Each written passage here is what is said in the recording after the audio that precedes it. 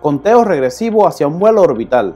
Durante la semana, SpaceX culmina serie de pruebas y NASA nos adelanta cómo funcionará Artemisa 3 y Starship.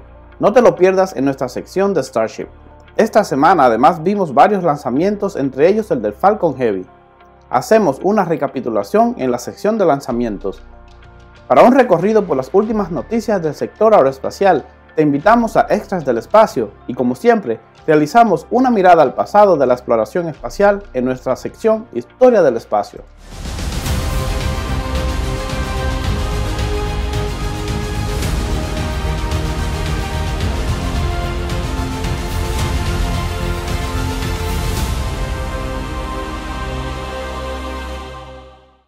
Bienvenidos a otro video de nuestro canal. Si no me conoces, mi nombre es Darien y seré su anfitrión en el episodio de hoy.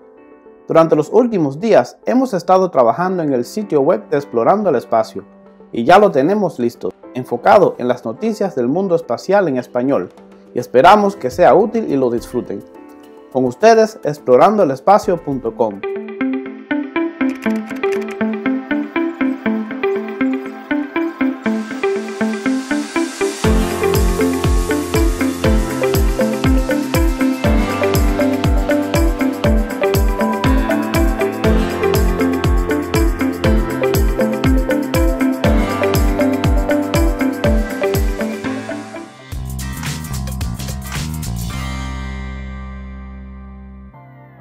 SpaceX continúa el conteo regresivo hacia un vuelo orbital y durante la semana, con un vehículo del sistema Starship completamente integrado, no perdió tiempo y ha realizado dos pruebas criogénicas parciales necesarias en el sistema.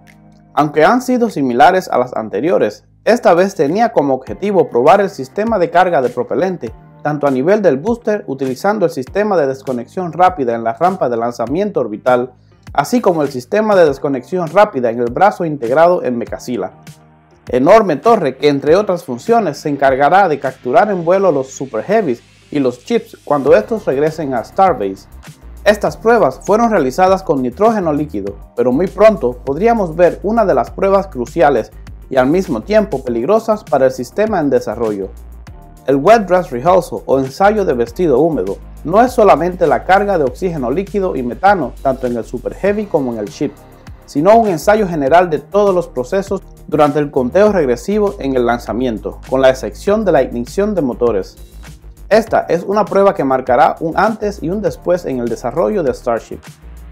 Si las pruebas se realizan de manera exitosa, se espera que Ship 24 sea desmontado del Booster 7 y otra prueba súper importante tendrá que ocurrir, el encendido estático de Super Heavy con los 33 motores Fractors. Esta prueba es además una de las más esperadas por todos y con muchas más preguntas que respuestas que esperamos pronto podamos responder. Durante los próximos días hay planificados cierres de carreteras para el 23 y el 24 de enero, programación que puede cambiar. Además, un aviso a los marineros NOTMAR ha sido planificado para el 23 y el 25 de enero en el área de Boca Chica, Texas, dando a conocer posibles pruebas por SpaceX. En el área de producción, SpaceX se enfoca en la construcción de los próximos vehículos que seguirán los pasos de Booster 7 y Ship 24. Booster 9 se encuentra en el Mega Bay después de realizar pruebas en el área de lanzamiento, y esta semana se vio el tanque de metano de Booster 10 con las rejillas aerodinámicas instaladas, siendo transportado entre los edificios de construcción. Otros vehículos se encuentran en desarrollo, entre ellos Chip 27 hasta el 30. Elon en su cuenta de Twitter una vez más compartió el ambicioso deseo de tener hasta 5 vehículos apilados este año en el área de lanzamiento. Esperemos los resultados y avances de este programa durante este año 2023. SpaceX recientemente se encuentra trabajando en la privacidad del área de producción y ha construido unas paredes en los alrededores del área, lo que dificultará la vista dentro de las tiendas de construcción. Por su parte, la compañía continúa con la construcción en la rampa de lanzamiento LC-39A y se encuentra a punto de instalar los chopsticks que hace unos días fueron transportados hacia la misma. Mientras SpaceX trabaja arduamente en las instalaciones de Starbase, Texas y Cabo Cañaveral, Florida, la NASA el 13 de enero nos compartió un avance de lo que pudiéramos ver en la misión Artemisa 3, donde Starship forma parte clave como parte del aterrizador lunar. Remontándonos al 2025, donde hasta ahora se espera se realice la misión, Antes del lanzamiento de la tripulación, SpaceX lanzará un depósito de almacenamiento en órbita terrestre. El sistema de aterrizaje humano no tripulado de Starship se lanzará a órbita terrestre y se reunirá con el depósito de almacenamiento antes de ejecutar un encendido de motores de inyección translunar y viajar aproximadamente 6 días hasta alcanzar la órbita de Halo casi rectilínea, NRHO por sus siglas en inglés, donde esperará la tripulación de Artemisa 3. Cuando ambas naves espaciales hayan llegado a NRHO, la cápsula Orión se acoplará con el aterrizador lunar Starship en preparación para la primera expedición de superficie lunar del siglo XXI. Una vez que la tripulación y sus suministros estén listos, dos astronautas abordarán Starship y dos permanecerán en Orión. La cápsula de la NASA se desacoplará y se alejará de la Starship para permanecer en NRHO durante aproximadamente una órbita alrededor de la Luna, con una duración de unos 6 días y medio. Esto coincidirá con la duración de la expedición de superficie, por lo que a medida que Orión completa su órbita, la tripulación en la Luna de dos personas terminará su trabajo en la superficie a tiempo para lanzarse de nuevo y acoplarse con Orión. La NASA tiene la vista puesta en lugares alrededor del Polo Sur para la era Artemisa de la exploración lunar humana. Las condiciones extremas y contrastantes lo convierten en un lugar difícil para que Starship aterrice pero las características únicas de la región son prometedoras para los descubrimientos científicos sin precedentes del espacio profundo. Utilizando tecnología avanzada, incluidos sistemas autónomos, la tripulación dentro de Starship aterrizará en un sitio cuidadosamente seleccionado dentro de un radio de 100 metros. Starship se encargará de regresar a NRHO y encontrarse con la cápsula Orión una vez terminada la expedición en la superficie lunar. En el artículo, la NASA comparte mucho más sobre el tiempo de la tripulación en la Luna y el regreso hacia la Tierra. En la descripción les dejo el enlace del artículo. Aunque falta mucho para esta misión, es bueno saber que estamos un poco más cerca de pisar una vez más la superficie lunar y que puede que hayamos conocido o visto los astronautas que formarán parte de este momento histórico. Momentos súper emocionantes nos esperan. Déjame saber en los comentarios qué te parecen los planes ambiciosos de NASA, SpaceX y otras empresas espaciales en cuanto a los planes en la Luna.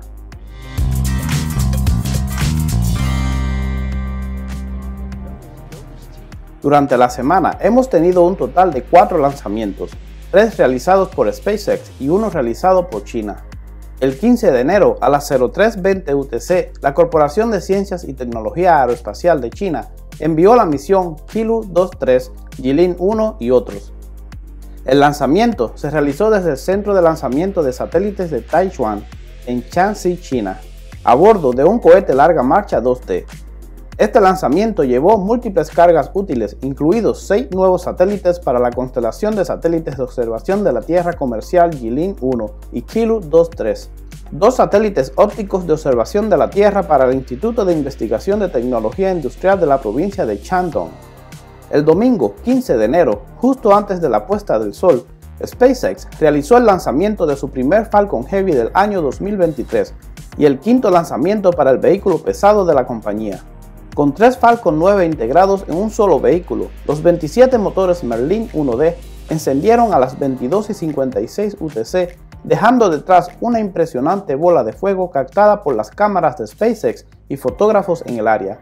A bordo de la misión viajaban dos naves espaciales conocidas como SATCOM 2 y LDPE, autobús espacial que viajaba con cinco CubeSats, todos partes de la misión USSF-67 para las Fuerzas Espaciales de los Estados Unidos. Aunque la misión fue clasificada, se sabe que la carga fue llevada a una órbita geoestacionaria aproximadamente 35.000 kilómetros de distancia de la Tierra. Después de pasar Max-Q, los boosters B-1064 y B-1065 se separaron y comenzaron el encendido de regreso a la Tierra, formando una increíble nebulosa que fue vista desde la superficie. Estos, después de realizar el encendido de reentrada, aterrizaron de manera espectacular en las zonas 1 y 2 de aterrizaje de SpaceX en Cabo Cañaveral. La segunda etapa continuó realizando su trabajo, pero por las características de la misión, SpaceX no compartió detalles sobre la misma. En nuestro canal vivimos este momento inolvidable con Daniel Regueira en lo que muchos compartieron, que fue el lanzamiento más espectacular antes realizado por SpaceX. El miércoles 18 de enero, la compañía realizó el cuarto lanzamiento del año 2023 y del mes de enero, enviando la misión GPS-3 SV-06. El cohete Falcon 9 Bloque 5 despegó desde la rampa de lanzamiento SLC-40 a las 12.24 UTC justo después del amanecer. GPS es un sistema de radionavegación basado en satélites que ofrece el estándar de oro en los servicios de posicionamiento, navegación y sincronización o PNT por sus siglas en inglés a los militares estadounidenses, aliados estadounidenses y usuarios civiles. Los satélites sirven como una base tecnológica crucial para las operaciones de Internet, financieras, de transporte y agrícolas, con más de 4 mil millones de usuarios. Después de la separación de etapas, la primera etapa aterrizó de manera exitosa en la barcaza Short Follow Gravitas, ubicada en el Océano Atlántico. La segunda etapa, después de un segundo encendido en órbita, desplegó el satélite aproximadamente una hora y 29 minutos después del despegue, de manera satisfactoria. Un día después del lanzamiento de la misión GPS-3, SpaceX realizó otro lanzamiento, pero esta vez desde la costa occidental de Estados Unidos, la misión Starlink 2.4 despegó el 19 de enero a las 15.44 UTC desde el complejo de lanzamiento SLC-4E en la base de la Fuerza Espacial de Vandenberg, California. El completamente nuevo Falcon 9 B1075 despegó sin dificultad y llevó los 51 satélites Starlink a órbita. La primera etapa regresó a la barcaza Of I Still Love You, ubicada a 673 kilómetros de la costa en el Océano Pacífico. Los satélites fueron desplegados de manera exitosa, según compartió la compañía en su cuenta de Twitter.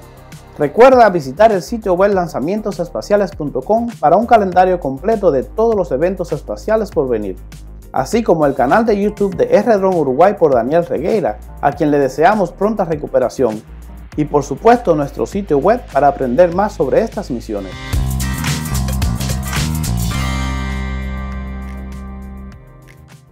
SpaceX y la NASA han programado el 26 de febrero para el lanzamiento de la misión Crew 6, que enviará cuatro tripulantes a la Estación Espacial Internacional para una estancia de aproximadamente seis meses. La fecha escogida es unos cuantos días después del objetivo anterior de mediados de febrero. La misión Crew 6 enviará la cápsula SpaceX Dragon Endeavour sobre un cohete Falcon 9 que se lanzará desde el Centro Espacial Kennedy de la NASA en Florida. Esta misión es altamente internacional, sus tripulantes son los astronautas de la NASA Steven Bowen y Wally Hopper, el sultán Andeyari de los Emiratos Árabes Unidos y el cosmonauta ruso Andrei Freyay, quien será el segundo ruso en volar en una cápsula Dragon de SpaceX. Andeyari será el primer emiratí a bordo de una cápsula Dragon. El pequeño helicóptero Ingenuity de la NASA ahora tiene 40 vuelos en la superficie marciana. Ingenuity, de 1,8 kilogramos, se elevó una vez más el jueves 19 de enero permaneciendo en el aire durante casi 92 segundos en un vuelo que cubría unos 178 metros de distancia horizontal. El vuelo reposicionó Ingenuity moviéndolo de Arfield Z en el vuelo del cráter Jezero de Marte a Arfield Beta, según el registro de vuelo de la misión. Este viaje llevó el pequeño helicóptero sobre algunas dunas de arena, como las imágenes capturadas durante el salto se muestran. La astronauta de la NASA Nicole Mann y de JAXA Koichi Wakara completaron este viernes 20 de enero la primera caminata espacial del 2023. Durante la misma, Mann y Wakara completaron el trabajo sobrante de una caminata espacial anterior para una plataforma en la que se instalará un conjunto de paneles solares de despliegue de la Estación Espacial Internacional Airosas para el canal de alimentación 1B de la estación a finales de este año así como la mayor parte del trabajo para instalar una plataforma de montaje similar para un conjunto de airosas que debido al límite de tiempo, los planes para atornillar un punto final para la segunda plataforma se aplazaron hasta una futura caminata espacial. Esto no causa ningún impacto en las operaciones de la estación. Tres maniquíes que volaron a la Luna y regresaron a bordo de la cápsula Orión de la NASA a finales del año pasado están ahora de camino a casa a sus respectivos laboratorios. El trío participó en la misión Artemisa 1 de la agencia, que se lanzó el 16 de noviembre sobre el poderoso cohete del Sistema de Lanzamiento Espacial y que amerizó en el Océano Pacífico el 11 de diciembre del 2022. El comandante Campos, que lleva el nombre de un ingeniero de Apolo 13, fue guardado en una caja de embalaje en el Centro Espacial Kennedy de la NASA en Florida el 10 de enero con sus homólogos alemanes, Helga y Sohar, saliendo de la nave espacial un día después, el 11 de enero. La próxima parada para campos será el Centro Espacial Johnson de la NASA en Houston, mientras que los maniquíes gemelos de la Agencia Espacial Alemana DLR se dirigirán hacia el extranjero. Los datos de radiación y aceleración de los maniquíes serán examinados para ver qué también la nave espacial Orión protegerá a los humanos en futuras misiones lunares a finales de la década del 2020. Los astronautas chinos a bordo de la Estación Espacial China comparten un video de la tripulación preparando para la llegada del Año Nuevo chino. En el video se ve a Chan Lu deseando suerte y felicidad desde la estación espacial.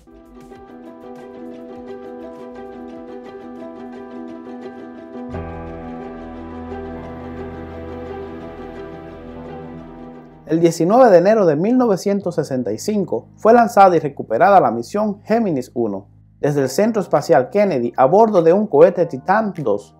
Este fue el segundo vuelo espacial del programa estadounidense de vuelos espaciales tripulados del proyecto Gemini. A diferencia de Gemini 1, que se colocó en órbita, Gemini 2 realizó un vuelo suborbital destinado principalmente a probar el escudo térmico de la nave espacial. Esta fue utilizada para la misión Géminis 2, pero renovada posteriormente en la configuración Géminis B y posteriormente fue lanzada en otro vuelo suborbital, junto con OPS 0855, como prueba para el laboratorio orbital tripulado de la Fuerza Aérea de los Estados Unidos. Si te gustó este video, como siempre dale un me gusta, suscríbete si no lo has hecho y dale a la campanita para que no te pierdas ninguno de nuestros futuros videos.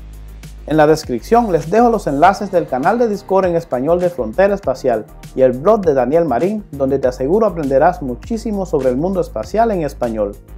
Por último, como siempre, nos gustaría agradecer a los miembros de nuestro canal por su apoyo incondicional cada mes. Nos vemos en el próximo video.